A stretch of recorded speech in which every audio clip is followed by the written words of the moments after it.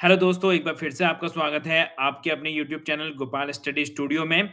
दोस्तों last two parts में जो कि लॉजिक गेट पे मैंने दिए थे उसमें हमने कवर किए थे एंड गेट, और गेट, नैंड गेट और नॉट गेट। तो दोस्तों आज मैं आपको बताने वाला हूँ ज़ोर गेट। इसको एक्सक्लूसिवली और गेट भी बोला जाता है, जो ज़ोर गेट का नाम है। तो यहाँ पे अगर इसका बुलियन एक्सप्रेशन देखेंगे दोस्तों कि कैसे इसका आउटपुट जनरेट होता है इनपुट से, तो अगर मेरे दो इनपुट हैं ए और बी, तो यहाँ पे अ जो आउटपुट होगा वो या तो हम बोल सकते हैं A dot B bar plus A bar dot B यानी कि ए बार का मतलब है कि ए में नॉट गेट हमने ऐड कर दिया है। यहाँ पे दूसरा एक्सप्रेशन देखेंगे तो यह है A plus B dot A bar plus B bar तो इस तरीके से आप दो तरीके से ज़ोर गेट को बना सकते हैं ज़ोर गेट का आउटपुट डेवलप कर सकते हैं। With the help of two inputs तो यहाँ पे दोस्तों, अगर आप ट्रूथ टेबल को देखेंगे तो आपको दिखेगा कि अगर मेरे दोनों इनपुट ए और बी ज़ीरो हैं तो आउटपुट भी ज़ीरो रहेगी, या फिर दोनों वन है तो तब भी आउटपुट ज़ीरो ही रहने वाली है। इसका मतलब अगर दोनों इनपुट हमारे सेम रहते हैं तो आउटपुट ज़ीरो रहेगी। अगर आपको आउटपुट वन करना है, या उसको आउटपुट को ऑन करना है तो आपको दोनों में से किसी भी एक इनपुट को यहाँ पे ज़ीरो करना पड़ेगा तो आउटपुट हमारा वन हो जाएगा।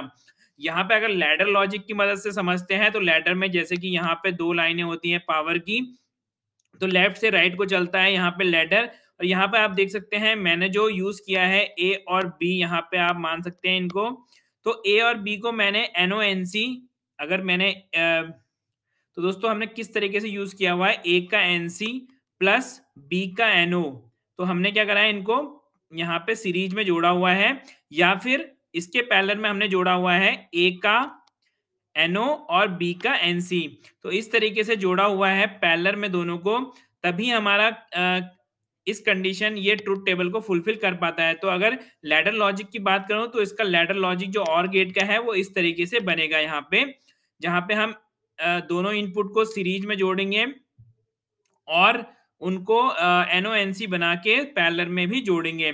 तो इस तरीके से हमारा आउटपुट जो जनरेट होगा, वो एक्सॉर गेट को फॉलो करेगा।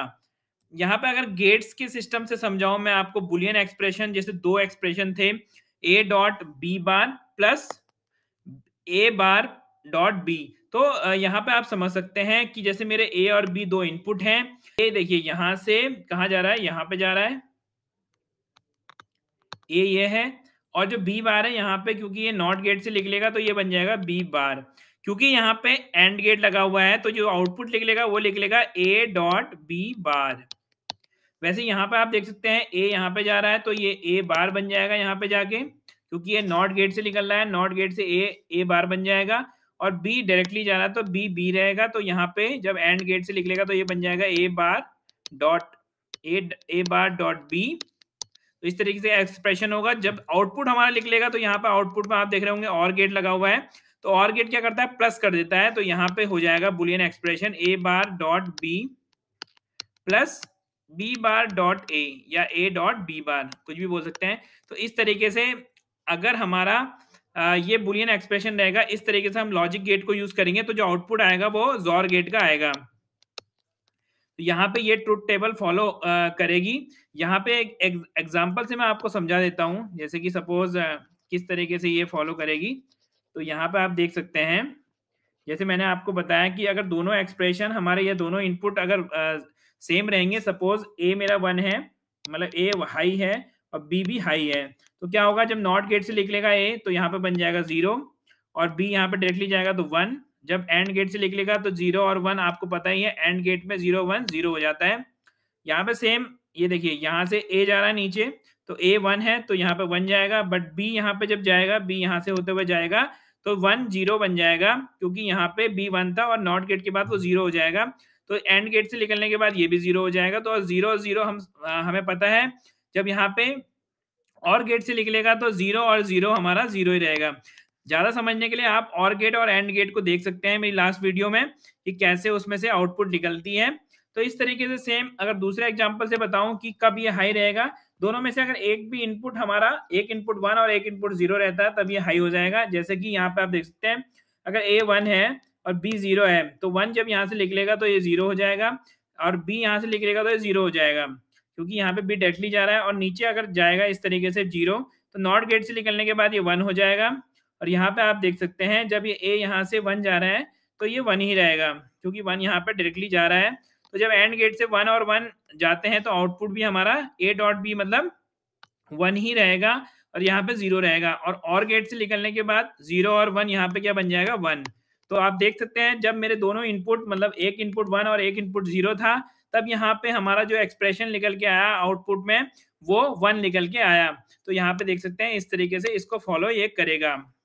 दूसरा हमने बुलियन एक्सप्रेशन दिखाया था A plus B dot A bar plus B bar इसको ऐसे भी समझ सकते हैं। ए प्लस बी पहले यहाँ पे और गेट बनाएँगे।